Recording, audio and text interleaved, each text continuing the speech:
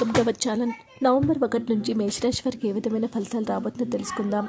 రెండు వేల ఇరవై నాలుగు సంవత్సరాన్ని పరిశీలిస్తే రెండు వేల ఇరవై మూడు సంవత్సరంలో పోల్చినప్పుడు ప్రస్తుత సంవత్సరం మేషరాశి వారి చెందిన స్థానికులు ప్రగతిశీలంగా ఉంటుంది. అది ఆ వ్యక్తులకు అనుకూలంగా ఉంటుంది. ఒక నవంబర్ నెల ప్రకారం మేషరాశిలో జన్మించిన స్థానికులు నెలలో శని చంద్రరాశికి సంబంధించి శని చంద్రరాశికి సంబంధించి పదకొండు ఇంట్లో సానుకూలంగా ఉండటం వల్ల వారి కెరీర్కి సంబంధించి మరెన్నో ఫలితాలు పొందగలుగుతారు. మీ చంద్రన రాశిపై శని యొక్క అంశం మీరు సంపాదించడానికి మిమ్మల్ని అనుమతిస్తుంది. మీరు ఈ నెలలో మీ కెరీర్కి సంబంధించి ఆచరణాత్మకంగా అనుభవాన్ని పొందగలిగే స్థితిలో ఉంటారు.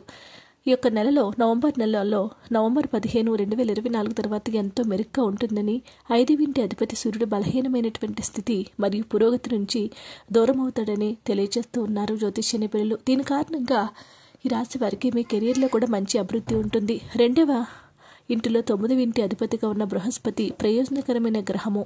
మీ చదువుకు సంబంధించి మరెన్నో ప్రయోజనాలను జోడించవచ్చు. నవంబర్ పదిహేను రెండు వేల ఇరవై నాలుగు తర్వాత మీరు మీ అధ్యయనాలకు సంబంధించి ఎన్నో ప్రయోజనాలు పొందుతారు. పన్నెండు ఇంట్లో రాహు ఉండటం వల్ల మీ కుటుంబానికి సంబంధించి మీరు ఆశించే ఆనందం గురించి మీకు సందేహాలు ఉండవచ్చు. అప్పుడు ఐదవింటి అధిపతి అయిన సూర్యుడు ఏడువింట్లో ఉండటం వల్ల నవంబర్ పదిహేను రెండు వేల ఇరవై నాలుగు లోపు మీ భాగస్వామితో మీ కుటుంబ సభ్యుల సంబంధాన్ని చెడగొట్టవచ్చు.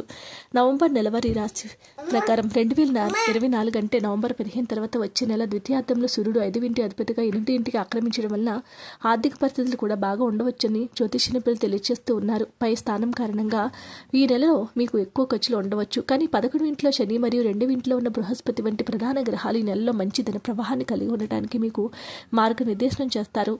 నవంబర్ నెలలో నవంబర్ పదిహేను తర్వాత మీ ఆరోగ్యం మెరుగవుతుంది. నవంబర్ పదిహేను ముందు మీ జీర్ణక్రియ సంబంధిత సమస్యలు ఎదుర్కొంటూ ఉంటారు కాబట్టి మీరు ఆహార అలవాట్లు జాగ్రత్తగా చూసుకోవాలి. మరియు సమయానికి ఆహారం తీసుకోవాలి. ఆరవింట్లో కేతు ఉండటం వల్ల మీరు చక్కని ఆరోగ్యాన్ని తట్టుకోగలుగుతారు. మరి దృఢ సంకల్పాన్ని కలిగి ఉంటారు. ప్రతి శనివారం ఓం మండాయన మహా అని జపించండి. వీడియో వస్తే లైక్ చేయండి. మరిన్ని వీడియోస్ కోసం మా ఛానల్ సబ్స్క్రైబ్ చేసుకోండి.